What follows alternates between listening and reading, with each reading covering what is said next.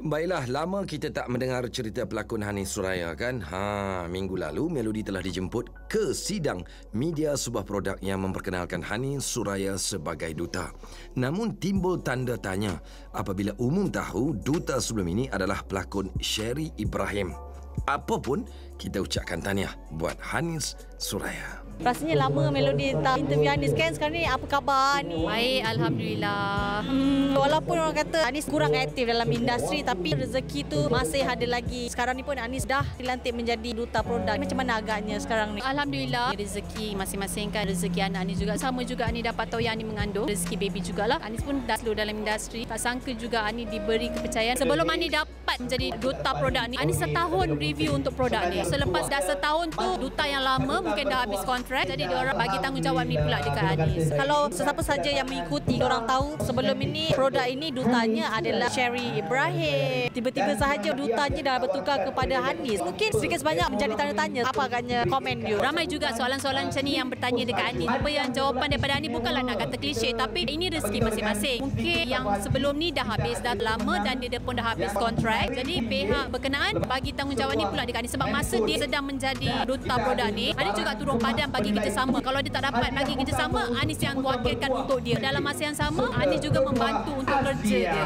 Tak sangka pula pihak produk ni mengambil Anis untuk menggantikan beliau. Kalau kita tengok Anis sekarang dah kurang aktif dalam industri Tapi pastinya ramai peminat-peminat Anis yang merindui Anis Nak tengok dalam drama kat kaca TV Mungkin sekarang ni tengah hamil lah 5 bulan Jadi selepas dah bersalin Ada tak niat kembali aktif dalam industri Itulah nak kena tanya suami jap.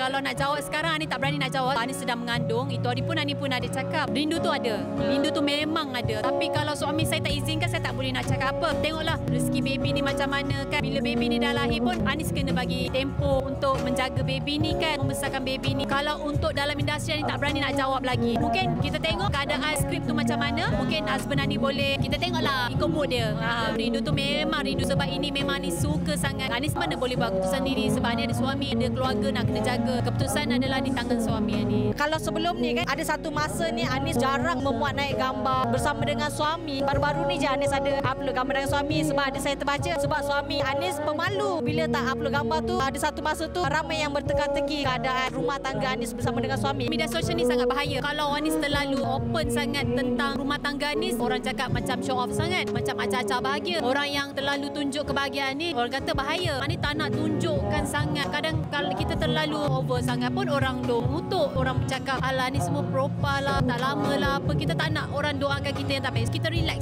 je. Tak nak terlalu macam open sangat. Maksudnya Anis sekarang ni lebih memilih menjaga privasi keluarga lah. Sebab Anis tak nak benda-benda yang tak baik terlepas dekat Aijan ni. Sebab anak-anak semakin membesar kan, budak pun dah pandai baca. Kita takut benda-benda yang tak baik dia nampak. Ada juga kadang-kadang sampai yang jahat mulut cakap tak baik tentang anak-anak. Kalau boleh benda tu tak nak terlibat dengan diorang. Kita tak nak cakap lebih-lebih. Tapi Alhamdulillah. Terima kasih kepada yang masih mendoakan kebahagiaan Anis. Terima kasih pada suami, pada anak-anak, pada pada keluarga Anis. Anis minta doa yang baik-baik je.